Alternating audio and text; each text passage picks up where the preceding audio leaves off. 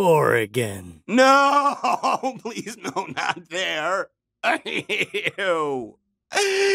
So the villain in this story has a weakness. However, so does the hero. Oh, yeah? What's that? Love. what was your ex girlfriend's name again? Myrna? Whatever. I'm banging her, I should know. You don't believe in love. I did, once.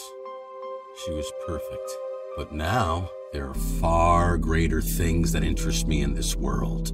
And while I may not have your abilities yet, I still have my own powers and I have used them to make Margot fall in love with me. Oh. So do your worst, Brandon. Do your worst. Bum, bum, bum.